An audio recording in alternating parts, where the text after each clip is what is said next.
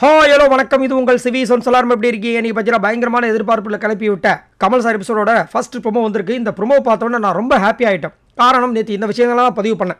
என்னன்னா sacrifice two point ஓ அப்படின்னா என்ன? முதல் சாக்ரிஃபைஸ்னால் என்ன? தானாக விரும்பி பண்ணுறது விரும்பினா பண்ணலாம். விரும்பலையா தூக்கி போட்டு போயிட்டே இருக்கணும். அவ்வளோதான் இந்த டாஸ்க்கை கண்டிப்பாக பண்ணி அவனுக்கு எந்த இடத்துலையும் வந்துட்டு பிக் பாஸ் அறிவுறுத்த கிடையாது. பண்ணுங்க. பண்ணிங்கன்னா மக்கள்கிட்ட வந்துட்டு ஆதரவு கிடைக்கும். அதன் மூலமாக மக்கள் ஓட்டு போடுவாங்க. அதை வச்சு நீங்கள் உள்ளே இருக்கலாம். மக்கள் ஓட்டு போகலன்னா வெளியே போங்க அவ்வளோதான் ஆனால் அந்த சாக்ரிஃபைஸ் டாஸ்கில் நீங்கள் இதை தான் பண்ணணும் அதை தான் பண்ணணும்னு சொல்லிட்டு புகுத்தின விஷயங்கள் தான் நேற்று எனக்கு செம்ம கடுப்பாயிடுச்சு. அது மட்டும் இல்லாமல் அந்த ஏழு பேரும் உள்ளே வந்த ஹவுஸ்மேட்ஸ் எல்லாரும் வச்சு செய்கிற மாதிரி டாஸ்க்லாம் கொடுக்கும்போது அந்த ஏழு பேரும் ஒற்றுமையாக இதை நாங்கள் ஏன் செய்யணும்? நீங்கள் வந்துட்டு நீங்கள் கொடுக்கறதெல்லாம் நாங்கள் செய்யணுமா? இதை செஞ்சால் தான் தியாகம்னா அந்த தியாகமே எங்களுக்கு தேவை கிடையாது. நாங்கள் எங்கள் மனசாட்சி படி பிக் பாஸ் சொன்ன தியாகத்தை செஞ்சிட்டோம். முடிஞ்சு போச்சு. அதை விட்டுட்டு நீங்கள் தேவையில்லாமல் வன்மத்தை பூத்துற மாதிரி இருக்குது அதுவும் வந்துட்டு விக்ரமனுக்கு ஒரு பக்கம் தாடி மீசை எடுக்கிறதா இருந்தாலும் சரி சிவனுக்கு வந்து மூஞ்சி டார்க்காக ஆக்கிற விஷயங்களா இருந்தாலும் சரி அசைக்கும் வந்துட்டு லேடிஸ் கெட்டப்பு அதாவது சாரி சுடிதார் இந்த விஷயங்களை போட சொல்கிறது இதெல்லாமே எங்களுக்கு சரியாக படலை. நாங்கள் கரெக்டாக பண்ணிகிட்ருக்கோம் உங்கள் வேலையை பாருங்கன்னு யாரோ ஒருத்தங்க அடித்து சொல்லியிருக்கலாம். பட் யாருமே பேச கிடையாது. சரி அந்த டாஸ்க் அக்செப்ட் பண்ணாமல் வந்திருக்கலாம். ஏன்னா மற்றவங்களுக்கு தட்டி கேட்குறது தான் அங்கே யாருக்கும் போய்ச்சி இல்லை. சரி தனக்கு வர அநியாயத்தை யாராவது தட்டி கேட்பாங்களா பார்த்தீங்கன்னா அதுவும் வந்துட்டு ஒரு சில பேர் ஸ்டார்ட் பண்ணாங்க. அசீ மாதிரி. யாருன்னா விக்ரமன் கொஞ்சம் ஸ்டார்ட் பண்ணாப்புல.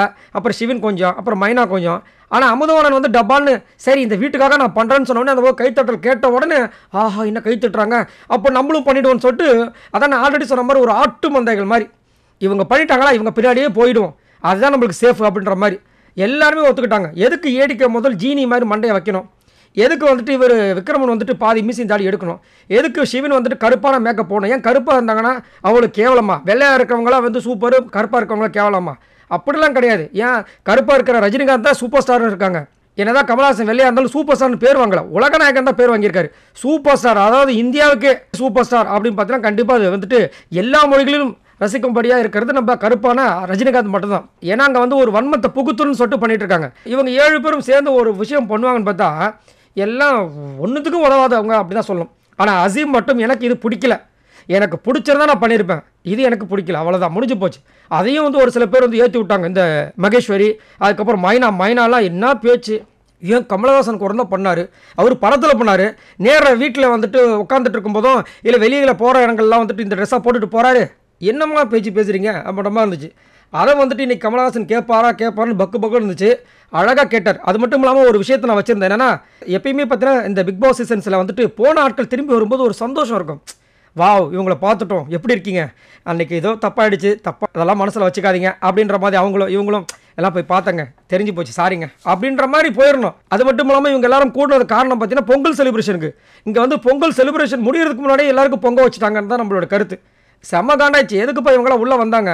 நிம்மதியாக அந்த ஏழு பேர் நிம்மதியாவது இருந்திருப்பாங்கன்ற மாதிரி இருந்துச்சு. ஏன்னா அவங்கள விட இவங்க மோசமாக பண்ணிட்டாங்க. சரி உங்களோட கருத்தை சொல்லுங்கள் எனக்கு உண்மையிலே கமலஹாசன் இந்த முன்னுரை சொல்லும்போதே வேறு லெவலில் இருக்குது. கண்டிப்பாக இன்றைக்கி அசிமோட ரோஸ்ட் கண்டிப்பாக கொஞ்சம் கம்மியாக தான் இருக்கும். மற்றபடி அந்த வெளியிலேருந்து வந்தாங்க பாருங்க. அவங்களுக்கு இன்னைக்கு கன்ஃபார்ம் அதிரடியான ஒரு ஆக்ஷன் இருக்கும் கமலஹாசன் கிட்டேருந்து அப்படின்ற மாதிரி தோணுது. சரி உங்களோட கருத்தை சொல்லுங்கள் உங்களுக்கு என்ன தோணுது? மறக்காமல் சொல்லுங்கள் அடுத்த ஒரு சூப்பரான வீடியோவில் சந்திக்கலாம். அது வரைக்கும் பாய் நண்பர்களே.